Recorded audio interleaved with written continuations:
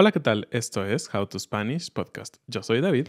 Y yo soy Ana. En este episodio nos vamos juntos a hacer el mandado. How to Spanish podcast is designed to help Spanish students improve their listening and vocabulary skills, and it's made possible thanks to our Patreon community. By joining the community, you can access the vocabulary guide and interactive transcript, bonus episodes, and monthly activities to practice your Spanish. If you would like to join the experience, go to patreon.com slash howtospanishpodcast. Pues yo dije hacer el mandado, que va a ser nuestra frase del día.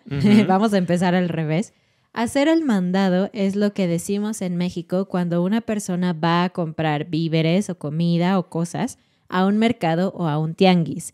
Obviamente es diferente cuando vamos a un supermercado, casi siempre decimos hacer el súper.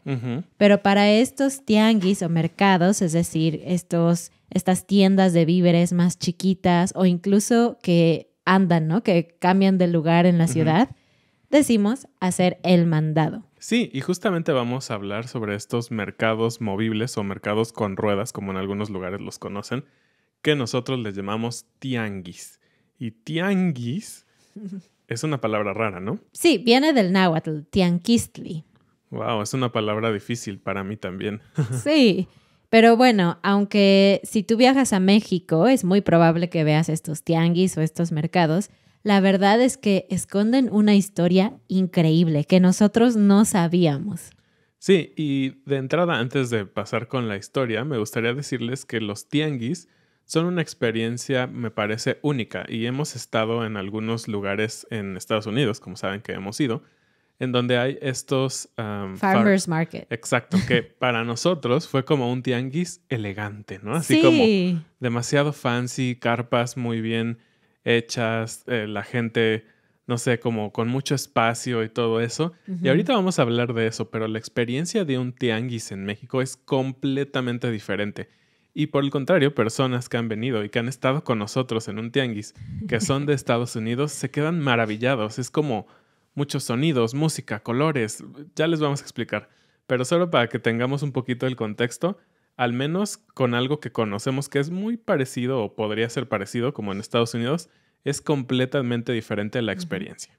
Ahora sí, vamos con la historia. Todavía hoy existen tianguis que tienen años y años de existir, que existieron antes de la llegada de los españoles. Es increíble que todavía existan. Pero queremos empezar a hablar de un tianguis que, bueno, ya no existe, pero era como el más grande y el más importante, que era el tianguis de Tenochtitlan. Exacto, y como hemos hablado en otros episodios, bueno, Tenochtitlan fue como la gran ciudad de los aztecas, ¿no? Esta parte, digamos, final de la época prehispánica, porque fueron a ellos a los que conquistaron los españoles justamente, y estaban muy interesados porque dentro de las cosas geniales que tenían los aztecas era un gran sistema de comercio. Obviamente eran unos grandes guerreros, conquistadores, hicieron mil cosas asombrosas, como ya lo hemos dicho en ese episodio, pero una de las cosas que sorprendieron muchísimo a los españoles fue justamente todo este sistema de comercio en los tianguis.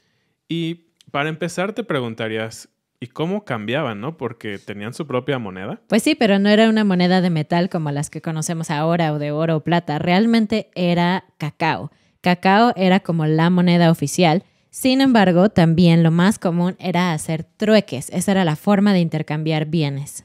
Así es, y esto lo vuelve muy interesante porque sabemos que en muchas otras civilizaciones el trueque se era conocido, ¿no? Digamos, como que en algún momento era como natural que los humanos quisieran intercambiar bienes, ¿no? Como yo tengo dos gallinas, ¿qué te parece si me das, no sé, unos vegetales y al final ya tengo como toda mi comida completa, ¿no?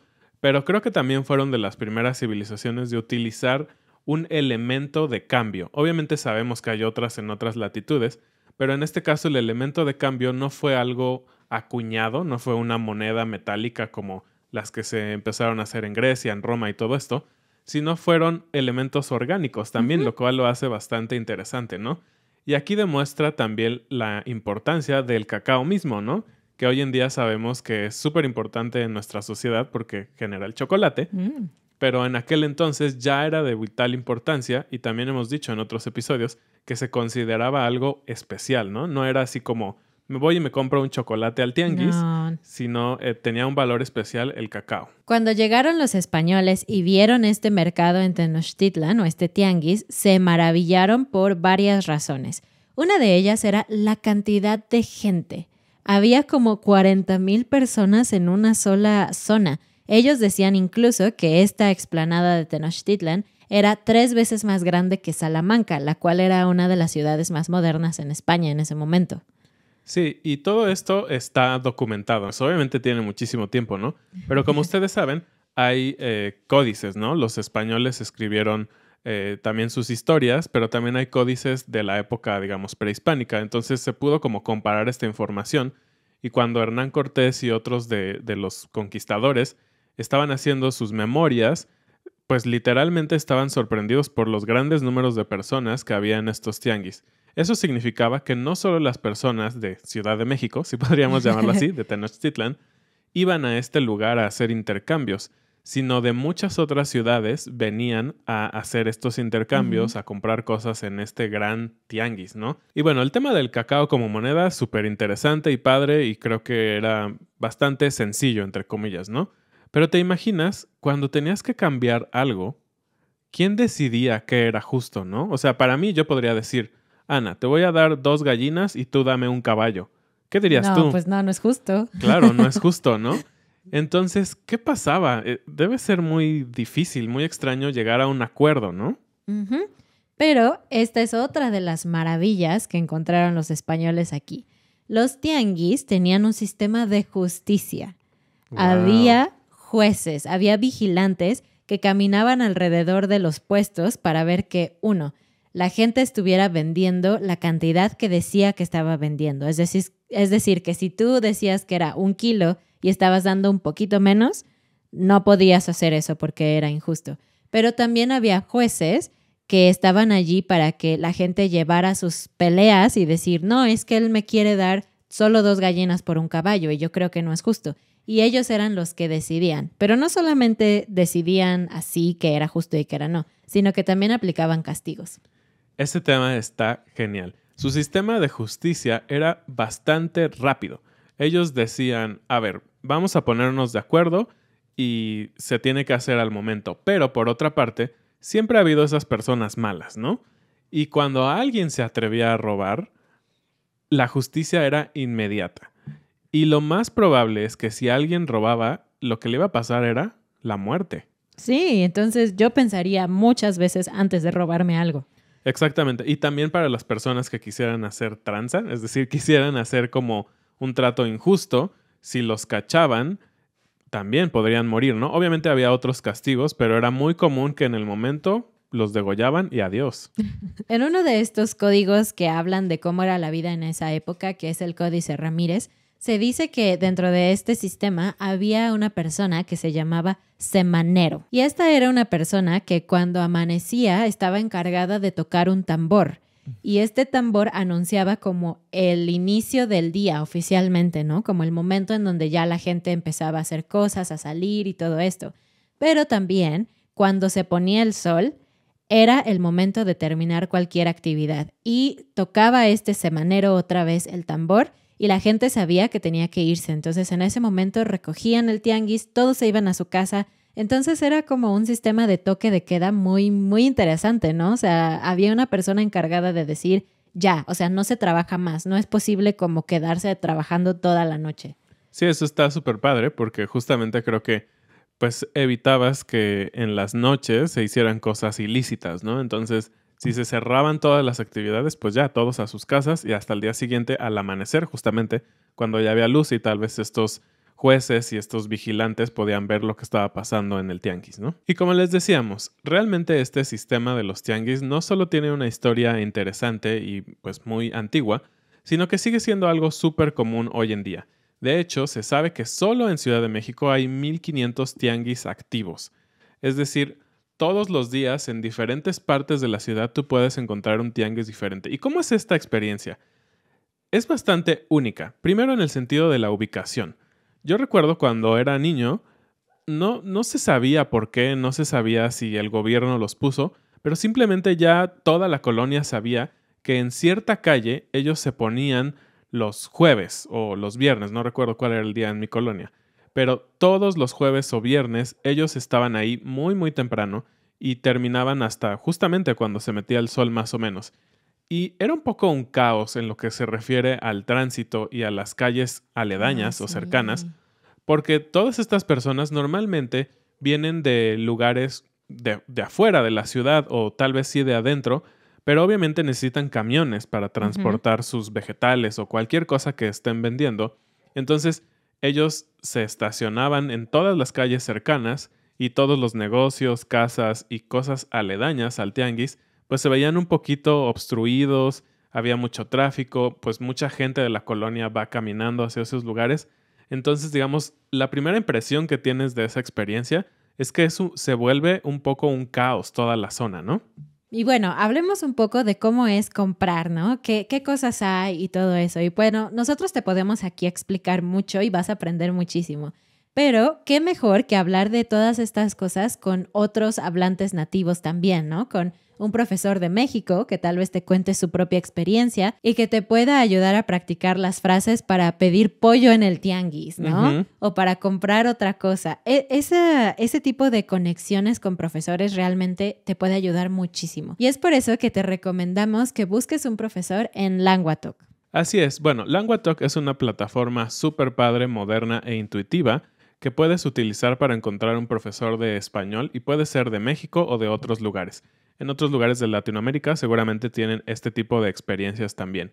Y LanguaTalk se esfuerza bastante en encontrar a los mejores profesores para ti. Así que a diferencia de otras plataformas, puedes encontrar un profesor que se ajuste a tus necesidades de aprendizaje y también a tus necesidades económicas o de precio, ya que hay un rango bastante amplio en el que tú puedes encontrar a un profesor. También es importante que puedes tomar una clase muestra durante 30 minutos que va a ser gratis. Ya hemos tenido algunos de ustedes que nos escuchan y nos ven, que nos escriben que han encontrado un súper buen profesor y que lo han disfrutado muchísimo. Muchas gracias por confiar en nosotros, gracias por contarnos también y pues sí, nosotros les recomendamos ampliamente que vayan a languatalk.com. El enlace para ir a esta página está abajo en la descripción del video o también en las notas de este episodio. Bueno, ahora sí, de lo que te hablábamos al inicio, la experiencia. Los tianguis siguen siendo lugares donde va mucha gente y hay muchos puestos uno al lado del otro. Entonces, las quedan unos pasillos muy delgados en medio de estos eh, puestos donde tienes que caminar rápido porque la gente tiene prisa y donde tienes que llevar todas tus cosas así porque literalmente no hay espacio, ¿no? Pegadas a tu cuerpo. Vas como en una fila, hay generalmente una fila de ida y una fila de regreso. Y la gente no para. Entonces, si tú quieres detenerte en uno de los puestos, literalmente tienes que hacer como whoop y quitarte del camino rápido, porque si no, la gente va a seguir empujándote y tú vas a seguir caminando y caminando y caminando. Sí, algo súper interesante de, de esta experiencia es que pues no hay reglas en cuanto a la estructura, digamos, física del puesto, ¿no? Entonces puedes encontrar puestos que son muy largos eh, o puestos muy, muy pequeñitos, pero justamente ellos obviamente se protegen con lonas, ¿no? De pues el viento, la lluvia, de que se ensucien los productos, no sé. Simplemente es una buena manera de protegerse, ¿no?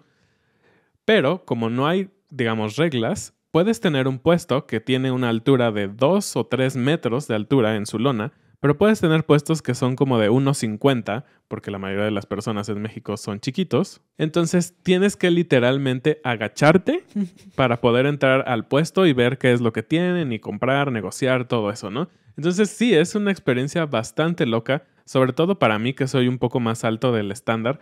Tienes que ir cuidando, como dijo Ana, no solo tus cosas, estás viendo los puestos, sino cuidar tu cabeza, porque puedes golpearte, ¿no?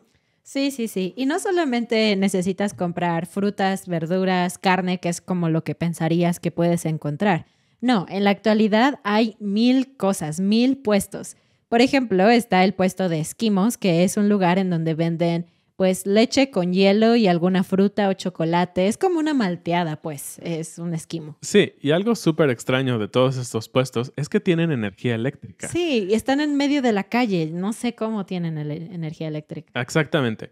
Y no solo tienes eh, puestos de esquimos, digamos que consumen energía, obviamente están los puestos de música pirata, ¿no? O películas piratas. Entonces, no solo tienen un radio para que escuches, sino tienen pantallas para que veas el último Blu-ray de la película. es una experiencia bastante extraña. Y algo que es muy común en los tianguis es que la gente te grita Ah, sí. para que entres a su puesto. Porque la realidad es que hay mucha competencia. En un tianguis no solo vas a encontrar un solo puesto, un solo espacio donde van a vender jitomates, por ejemplo. Seguramente a lo largo de todo el tianguis va a haber cinco o seis puestos de verduras. Y muy extrañamente muchas veces se ponen muy cerca. Eso no lo entiendo. Pero bueno, el punto es que mucha gente de los puestos se pone a gritar Pásale, güerita, pásale, güerito, ¿qué le vamos a dar, marchante? Exactamente. Esas son la- el tipo de palabras que seguramente vas a escuchar. Y como bien sabes, nosotros somos morenos. La mayoría de los mexicanos somos morenos. No vamos a hablar mucho del tema racial y no, no es el tema. Pero los mexicanos mayormente somos morenos, pero hay de todo, ¿no? ¿Por qué se le dice güerito a la persona que está en el tianguis? Nadie lo sabe. Puede ser la persona más morena de México y te van a decir güerito. Así que no pienses que están burlándose ni nada. Simplemente es una manera de llamarle al comprador, marchante, también como dijo Ana, eh, cliente. eh, Joven, todos son jóvenes. Puede ser casi un viejito y le van a decir, pásale, joven. también te pueden decir mi jefe. O reinita, pásale, reinita. Exacto. bueno, al final creo que tratan de endulzarte un poquito el oído y que digas, ay, me tratan bien, voy a comprar con él, ¿no? Sí. Otra categoría de cosas que puedes comprar son los cosméticos, ¿no? Sí. Están este, los labiales, cualquier tipo de maquillaje que generalmente es como muy barato, ¿no? O sea, no, no vas a encontrar algo de una marca muy conocida, pero bueno, es muy común encontrar aquí todo ese tipo de productos, cosas para el cabello, incluso perfumes y hasta zapatos. Tenis, creo que es lo más común, tenis y botas. Pero también en algunos tianguis hay incluso puestos que te venden ropa o zapatos usados. Pues sí, realmente un tianguis es un lugar de mucha variedad. Podríamos pensar que es una mezcla entre un supermercado, un centro comercial, un lugar de diversiones. Tienes todo. Recuerdo que en el tianguis en donde yo iba cuando era niño, había una zona en donde había juegos inflables para los niños. O sea, se iban y se subían y ahí estaban durante 10, 15 minutos y pagabas 5 pesos o una cosa así. También había los lugares donde vendían cosas para adultos, como lencería y cosas así extrañas. O fruta picada. Fruta picada. Recuerdo que había un lugar en donde vendían mascotas, vendían pececitos, Pollos de colores. pollos de colores, tortugas de esas pequeñas que puedes tener en tu casa. Entonces, realmente es algo bastante exótico que para nosotros como mexicanos ya no lo es, pero cuando ves un poquito la experiencia en otros países, puedes darte cuenta que realmente es un lugar único y sin duda es una experiencia que les recomendamos a todos. Cuéntanos si tú has visitado un tianguis en México o si te gustaría visitarlo, ¿no? Esta experiencia llena de adrenalina. Para mí la verdad es que los tianguis sí me generan un recuerdo como muy bonito porque cuando vivía con mis padres y era niña, los miércoles había un tianguis que se ponía cerca de nuestra escuela en donde vendían tacos de cecina con cebollita y papas. Uh, y longaniza. Mm. Buenísimos. Y casi todos los miércoles durante una época íbamos aquí, mis papás nos recogían de la escuela y llegábamos a este tianguis a comer esos tacos con una coca bien fría de esas de lata de, de vidrio. Ana está salivando. Sí, pero no solo por la comida, sino como la experiencia, ¿no? De que mis dos papás venían a recogernos y que nos llevaban a este tianguis y nos compraban tacos y al final casi siempre hay postres también en algún lugar del tianguis y te pueden comprar un helado o cualquier cosa. Entonces para mí era muy especial ir al tianguis. Parece extraño que dentro de todo este caos generes justamente como sensaciones o emociones bonitas, ¿no? Y no solo como entre familias y eso. Yo recuerdo que en nuestro tianguis nosotros teníamos como nos- los vendedores favoritos, ¿no? Había cierto, no sé si llamarlo apego, pero simplemente eran personas que buscábamos. Es decir, podíamos viajar todo el tianguis solo para comprarle a la misma persona porque ya había cierto cariño o no sé, tal vez ya hasta conocían Confianza. un poco, sí, confianza, o tal vez ya hasta conocían un poquito de ti, de tu familia, ¿no? Ah, ¿cómo están sus hijos y todo eso? Entonces se vuelve una especie de, eh, pues sí, un, un lugar ambulante, no solo de mercancías, sino de experiencias y de relaciones. Es algo bastante padre. Es un club social. Exactamente. Y yo recuerdo una experiencia también muy padre que eh, cuando yo era niño me encontré tirado 50 pesos. ¡Wow! Pero era niño y obviamente no sé, en ese entonces tal vez el tipo de cambio peso dólar era muy barato, como 10 pesos. Entonces para mí era muchísimo dinero porque literalmente yo creo que tenía 6 o 7 años. Oh. Y mis papás me dijeron, pues quédatelo tú. Y para mí fue, ¿qué voy a comprar en el tianguis? Porque hay Tantas cosas y me lo había encontrado en el tianguis. Finalmente creo que compré juguetes o algo así, carritos, no recuerdo. Pero fue una experiencia que hasta la fecha me acuerdo, ¿no? Porque fue única y fue algo que tal vez si hubiera ocurrido en un centro comercial, pues no me lo hubiera quedado o no sé, ¿no? Pero bueno, fue una experiencia muy padre y sí, es una gran experiencia ir a los tianguis. Si un vigilante de Tenochtitlan te hubiera visto, te hubiera dicho, niño, ese no es tu dinero. Me hubiera Degollado. cortado el cuello. Bueno, pues eso fue todo por este episodio. Esperamos que hayas disfrutado aprender un poco de la historia de este tema tan importante para los mexicanos y que ahora tengas muchas ganas de visitar un tianguis en México. Muchas gracias y bienvenidos a nuestros nuevos patrones David, Brian, Tyler, Bailey, Andrew, Shannon, Bobby, Keith, Alexandra, Megan, Nick, Jonathan, Michael. Christian. Así es, nos vemos la siguiente semana. No olvides visitar nuestras redes sociales, nuestra página de Instagram y nuestra página de Patreon. También, si nos viste en video, dinos qué te pareció esta nueva experiencia con luz un poco más natural y todo esto. Así que nos vemos la siguiente. Adiós. Adiós.